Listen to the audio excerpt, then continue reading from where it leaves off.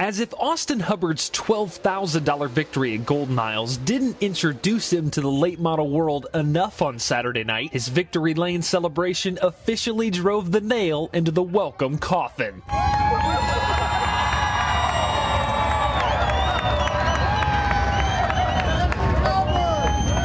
In what can only be described as an official coming out party, 17 year old Austin Hubbard led all 60 laps and held off Scott Bloomquist during a green white checker scenario to do it, proving unflappable during the waning moments of the race, even as one of the greatest ever was breathing down his neck. For the final time out of turn number four, Delaware's Austin Hubbard will take the win. In a season in which he plans to run the World of Outlaw series for car owner Dale Beitler and is expected to be the next big thing in late model racing, Hubbard delivered early in 2010, proving the can't miss label may be dead on. It was just like a volcano of feelings.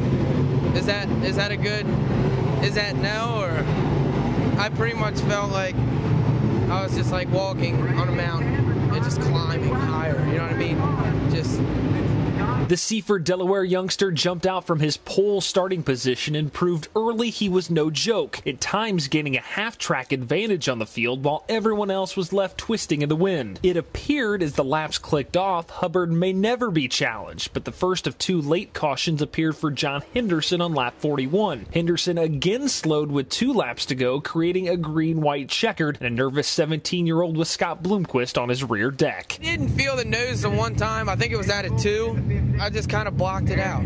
Uh, I saw the board and I saw, I mean, I, I was really more worried about Josh at that one point because I was like, Josh is in third.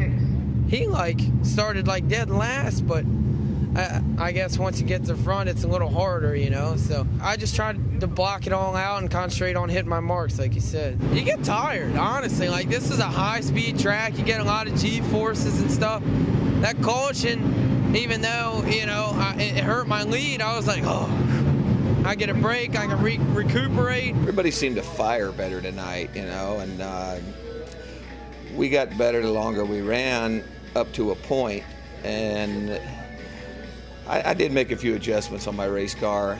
Uh, caused me to be a little bit tight under throttle, which made me not be able to run the top quite as much as I like to. Uh, I really wanted to try to work the top in one and two, and I, I ended up giving it a go the last lap, and and there was something up there, but I really needed a longer caution to cool my tires to be able to run that high line and that momentum line.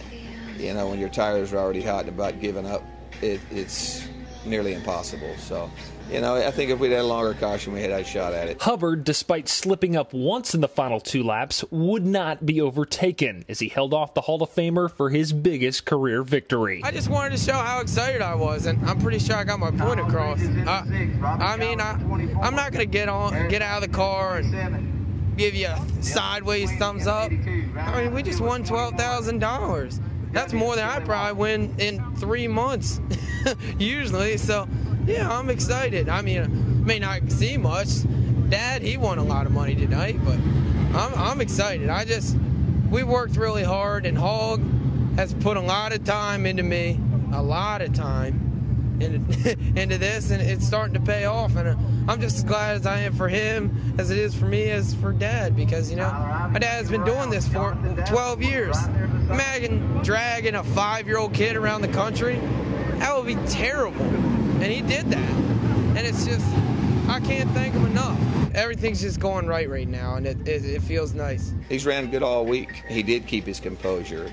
He did make a few mistakes, and you know, there, he his tires were hot enough that that he could afford to, and and mine had already gotten hot enough that I couldn't take advantage of it. And they weren't a big enough mistake that uh, it, for me to really take advantage of. So, you know, yeah, I, I congratulate him. He did a, did a heck of a job, and, and there there's there's a lot of young talent in the world, you know. And uh, again, congratulations to him. A postscript to Hubbard's win. It should be pointed out that those who consider themselves dirt late model insiders have been predicting a breakout for Austin Hubbard in 2010. But it's one thing to believe it; it's another to actually see the driver go out there and get a victory. And of course, as he begins his season with Dale Beitler next week at East Bay, the pressure will be on even more heavily after this win. But for the time being, he knows at least for one night, he can compete with the absolute best. We've won uh, a quite quite a few things. We won go kart national championships and stuff, but this is what I've always wanted to do right here. Just to go out there and and not that you just just to beat the people that we beat tonight 12 hours a day. You know what i mean? For the last three months getting this stuff ready pouring my heart into this deal. It's all worth it. All of it. From the final night of the super bowl of dirt in brunswick georgia this is michael rigsby with dirtondirt.com